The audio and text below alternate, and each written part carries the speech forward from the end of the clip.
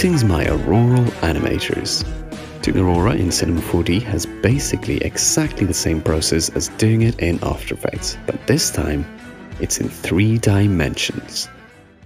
We'll use three noises and three lights instead of three blurs. First thing we need is a simple plane, and this will basically be our magnetosphere. I'm going to set that one to be 1000 by 1000 centimeters, so a little bit bigger than it was.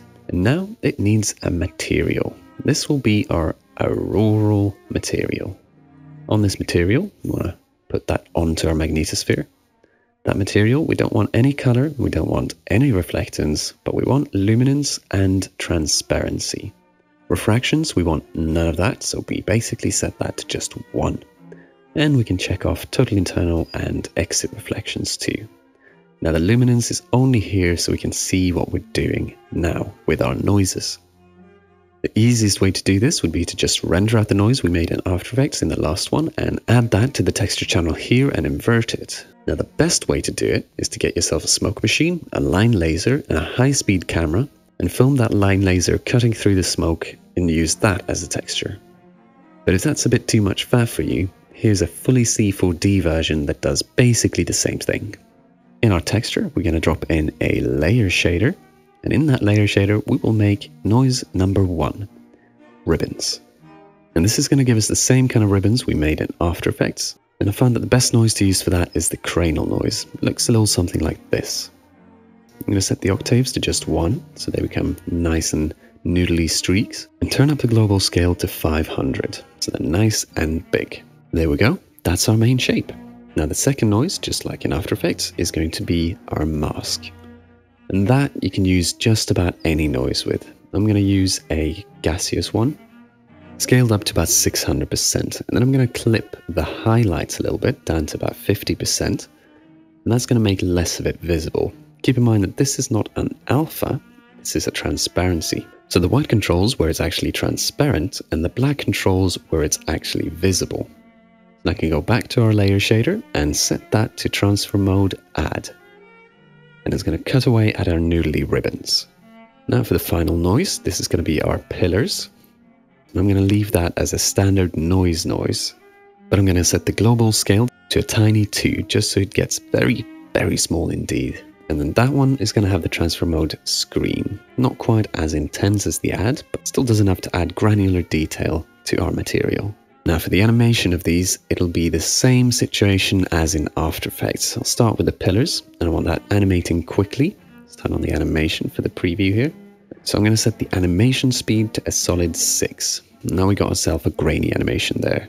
With a mask, that will be much slower. I'll set the animation speed to 0.3.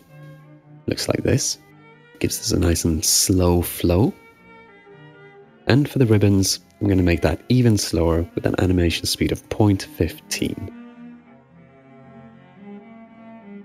And altogether, that leaves us with the texture looking like this.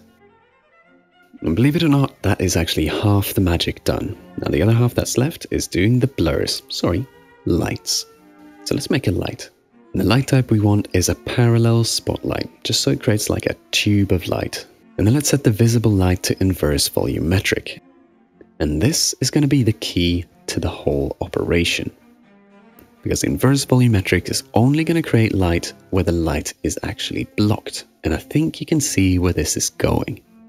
Let's call this first light edge, because that's what it's going to be.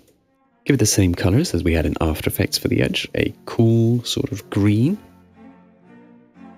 And let's put that light into a cloner.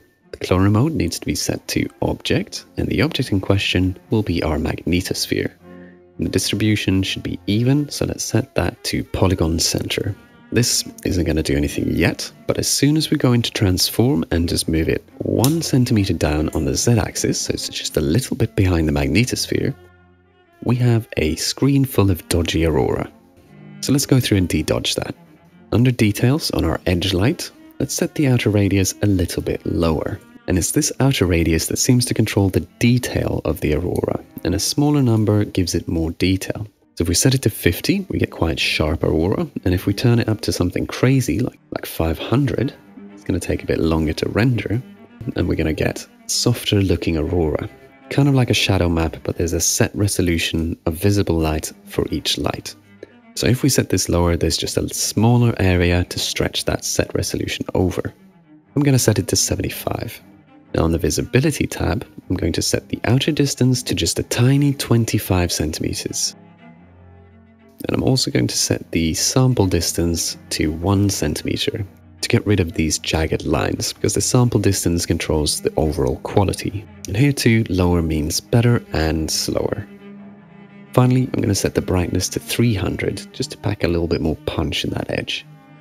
Now for the second light, I'm going to copy light 1 edge and make that a child of light 1.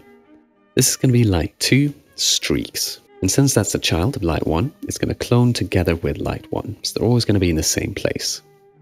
And for the streaks, we want to change that to a slightly warmer color, same as in After Effects. 105 on the hue. And under visibility, I will change the outer distance to 35, so it reaches out a little bit longer and the brightness I will set to 200, so it's a little bit weaker.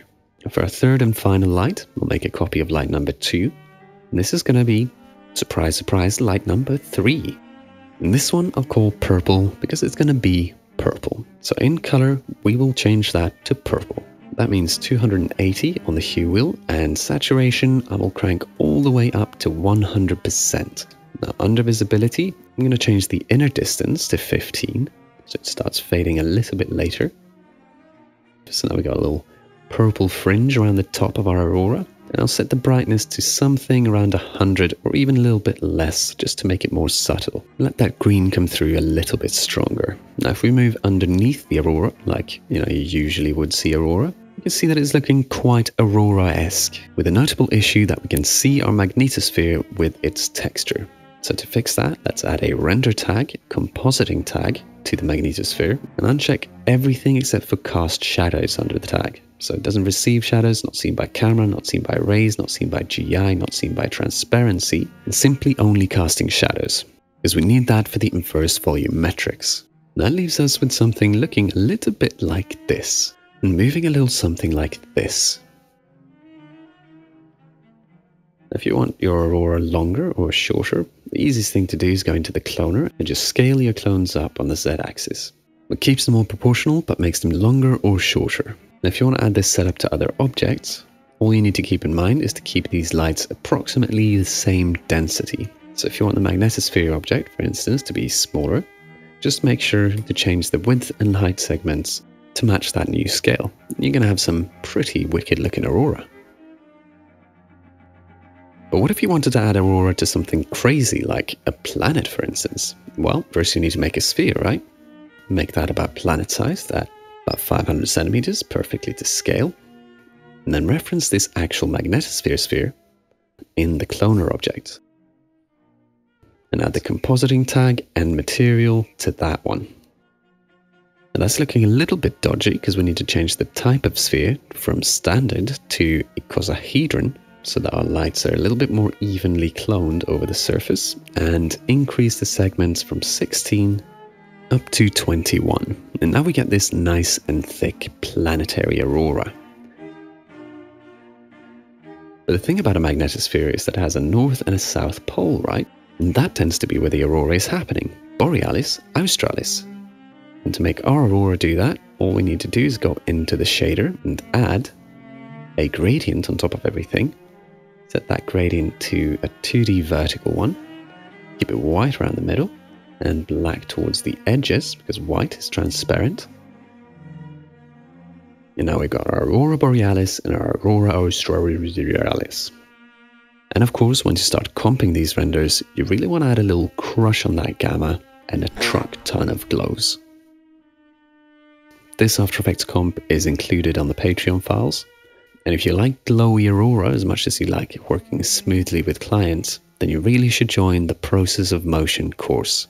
It'll teach you everything about running a motion design project from brief to delivery. And you'll see some Aurora in the process. Now for the next tutorial, it will be the volcanic smoke one, because it's waited for far too long.